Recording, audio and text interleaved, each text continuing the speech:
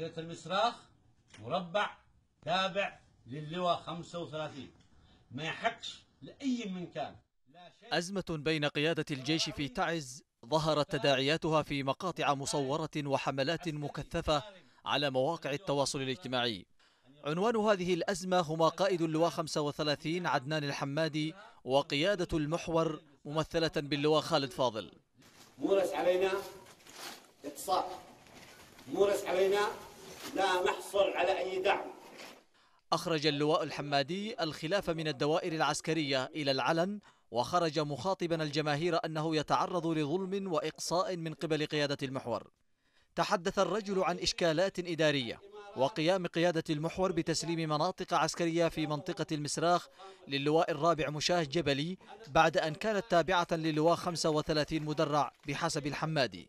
خروج الخلافات العسكرية من إطارها القانونية والتراتبية العسكرية وعدم تدخل هيئة الأركان أو نائب رئيس الجمهورية الفريق علي محسن الأحمر يلقي الكثير من الأسئلة حول وجود قيادة عليا للجيش يحتكم إليها وفق القوانين والتقاليد العسكرية.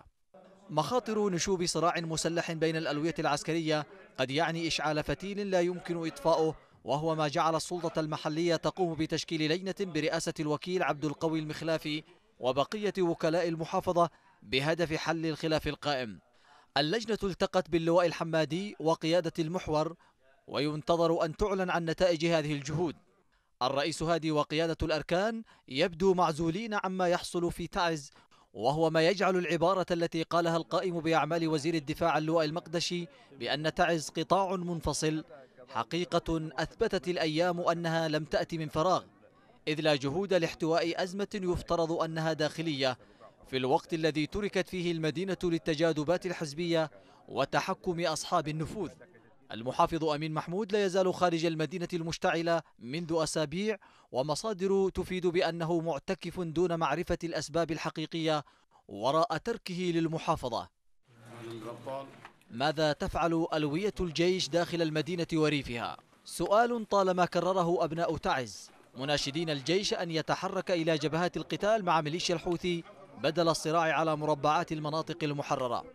التساؤل ذاته طرحه المتحدث باسم الشرطة النقيب أسامة الشرعبي على صفحته وناشد قوات الجيش أن يتركوا مهام تأمين المدينة وأريافها للأجهزة الأمنية وأن يتفرغوا للعمليات العسكرية ضد الحوثي الخصم الذي لم يعد على سلم الأولويات.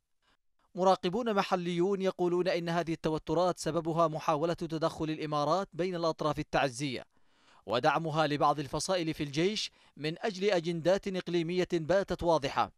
ويبقى السؤال لماذا يسمح الرئيس هادي ونائبه بكل هذه الصراعات رغم أنه قادر على تعزيز حضور الدولة ومنع حدوث هذه الاختلالات؟